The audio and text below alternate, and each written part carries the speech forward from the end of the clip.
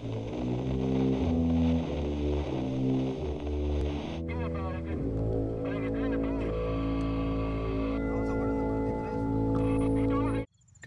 evening.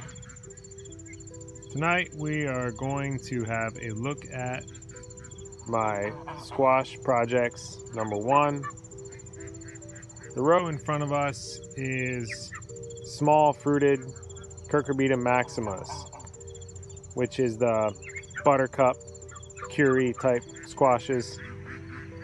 The last three or four years I have been growing primarily Burgess strain Buttercup, which is a pretty good variety, but I have been somewhat disappointed in the keeping ability of that variety. In an attempt to find varieties that tasted as good and kept longer, this year I added Banquet and Anna Swartz Hubbard, both from Seed Savers Exchange. Both are also small fruited Maxima type winter squashes. This year has been a terrible year for the Maxima squashes. They are marginal in our climate. It's too hot and too humid here.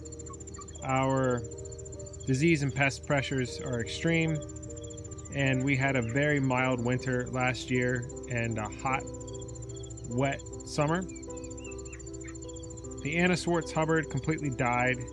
I had thought that the banquet died, but actually the banquet have bounced back. The squash right in front of us is a banquet, which is a small orange, supposedly long keeping one, developed somewhere in the northern plains.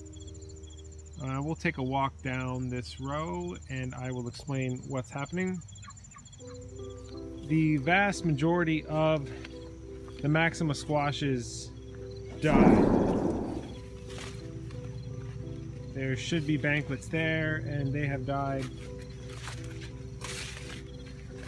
Squash there is a cross between Arikara, which is a High Plains Native American variety with excellent borer resistance, disease resistance, and vigor. Uh, it's not really the best eating quality, but it is a good keeper. I've crossed that with several other Maximas to try to get some of their good traits.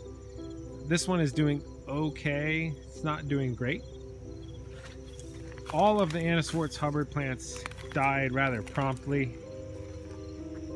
I have a few Burgess Buttercup plants left. What it looks like here is that I will probably get one or two mature fruits from one or two plants that have survived.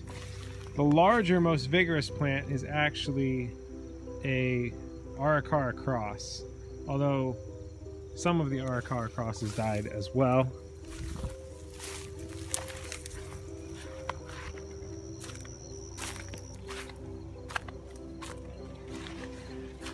This sort of fruit is definitely the type that an would make, although as you can see the vine is rapidly vine's rapidly dying, so I don't know if we can get a good mature fruit, but if we can get seeds, we might go forward with that. And this is the best vine. Uh, this vine is still healthy. It's got a decent sized buttercup squash on it, and it's crawling out over across the eggplant row and into the okra patch. So this is disappointing in the fact that our small fruited maximas are going to produce almost nothing worth eating this year. However, it's been a tremendous year for selecting plants.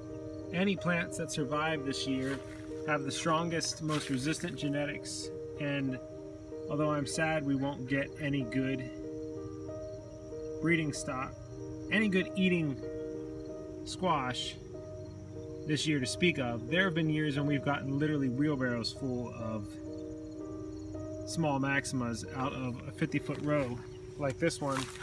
I will get some good seed that hopefully we can use to breed some stronger plants in the future.